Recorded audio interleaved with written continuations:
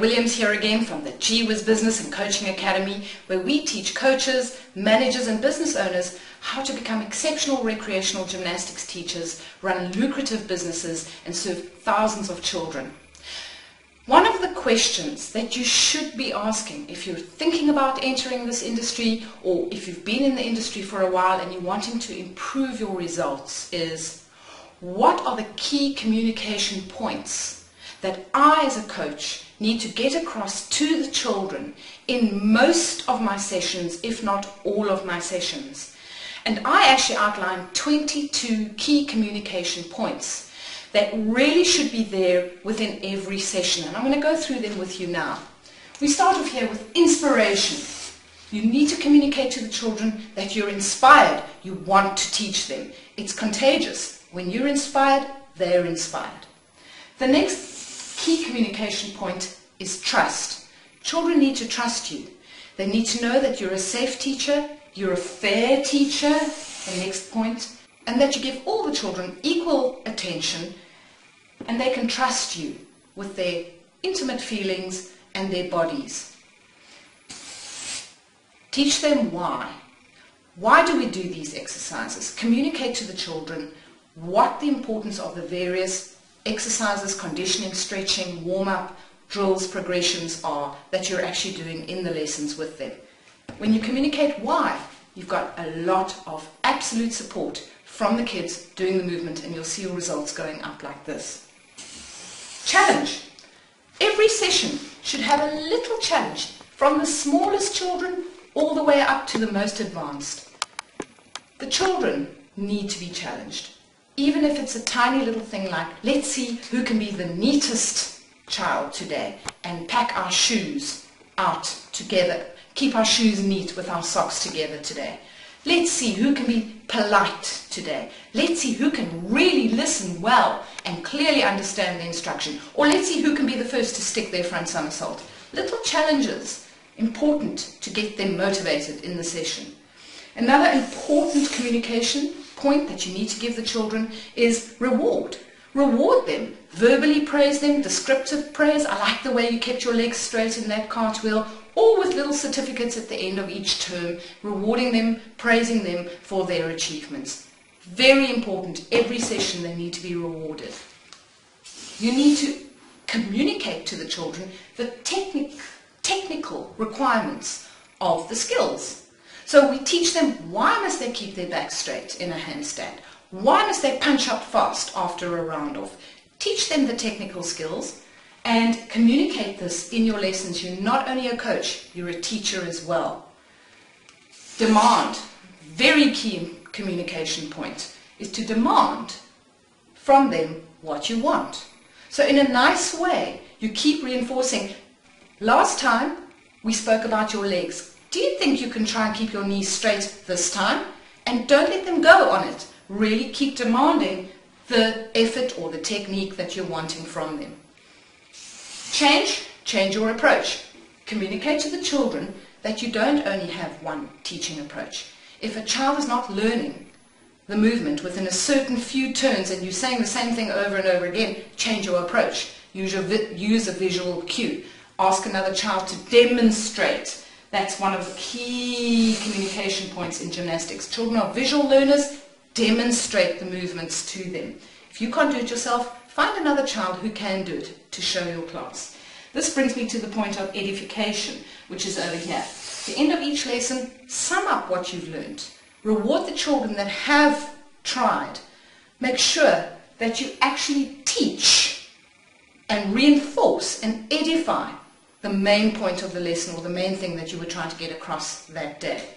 Clarity, clarity of communication, clear, concise, short demands and short instructions, okay? And feedback. Good, your legs were straight, or arms up, or fast. Those are the most effective and clear ways of communicating, not a long lecture or a long story. Spot, something you have to learn even from the smallest little ones, when you're helping them jump on the trampoline. It also builds trust, remember, when you spot them because they can feel that you're helping them. But spotting not only builds trust and is important for safety, It also helps them feel the correct way of doing the movement. So it's, it's a teaching aid to be able to spot. Spot in every session. Reinforce. Reinforce every single thing that you've demanded from them. So when they have their turn, you go back and you reinforce, and we actually use a nice thing called verbal prompts. So if you've said to Mary, Mary, your round off needs to go straight, you're putting your hands skew. Next time round when Mary comes, you just use a verbal prompt, straight round off. And that helps her actually get it into her mind just before she goes with the chances of the success being better. Very important communication method, verbal prompts. Ergonomics, teach the children, communicate to the children that we have a flow of work, we have a flow of activity. You go from the one to the next, to the next, to the next. You don't cut across the mats like this, especially little ones. You have to teach them the safe way of moving around the gym. I teach the children that it's like a road. Okay, you have to stop, look left, look right before you can cross over. Same in the gym ergonomics of movement, not only for safety but also for a more productive session. Here we have know the child. You need to communicate not overtly but subtly that every child is treated individually, every child is known, you know where they're coming from, you know if they're having a bad spell, you know if they're having a good spell, you know if they need more boundaries, you know if they need more gentleness. You need to be intuitively in touch with your children and communicate that to them in the way that you handle them. Very, very important. Energy and enthusiasm. This is linked up closely with inspiration. I don't think I need to say anything more about that. Have energy. Even if you don't have energy when you start the gym session, get the energy. And by the time you're five, seven minutes into the session, you'll be lifted up. Warmth. Warmth. Recreational gymnastics is not hardcore you need to be warm. You need to engage. You need to make that relationship with the children. The warmth of the teacher is fundamental and a key communication in every single lesson. Every minute counts. Communicate to the children that we don't come here just to mess around and waste time. Even though it is recreational gymnastics, we want them to learn something. And so we make every minute count and we have stations all along the way. We use our drills and props on the way back from our main station. We make sure our class sizes are small enough so that children can have a good flow of work and it communicates at a deep level that they are there to have a very good workout. Discipline. Key, key, key communication.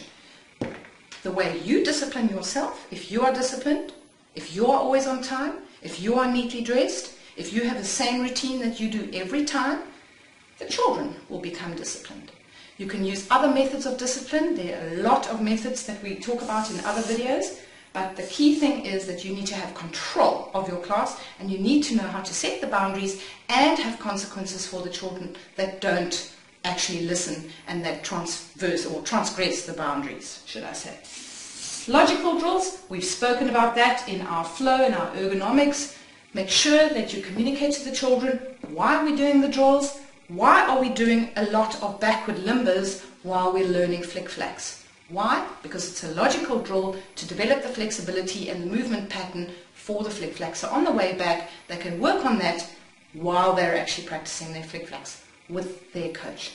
So I hope you enjoyed that. 22 key communication points to bring across in every single recreational gymnastics lesson or tumbling lesson that you're doing. If you'd like to know more, go to www.gwizbusinessacademy.com forward slash tumbling coaches blueprint and I'll see you on the other side.